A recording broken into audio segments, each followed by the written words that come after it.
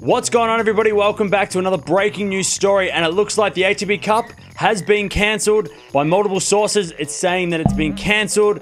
It looks like the uh, the quarantine period overlaps with the ATP Cup, which means the tournament cannot be held. Also, the fact that 24 nations playing in the one city because all tournaments are coming to Melbourne and staying in Melbourne.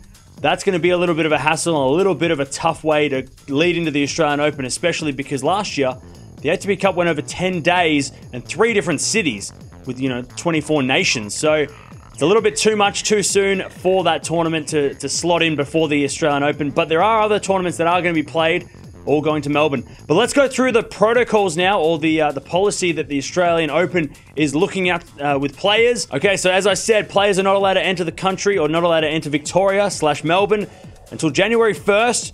Uh, we said the other day in a video that between the 5th and the 7th is probably where players are going to uh, probably arrive, you know, spend New Year's at home and then arrive that first week of January. 14 day quarantine period. Now, this is a different thing from what we said last time. They're actually allowed now, the government of Victoria are actually allowing players to train while in quarantine. So it's not a 14 day quarantine locked in a hotel room with nothing to do. They can actually train. So that's a good thing. Uh, warm up events are all going to be held in Melbourne. So you've got Hobart, which is a WTA event. You've got Brisbane, which is a WTA event. And also the Adelaide tournament, which is an ATP and WTA tournament, all playing in Melbourne, which is a good thing as well. Keep it in the bubble.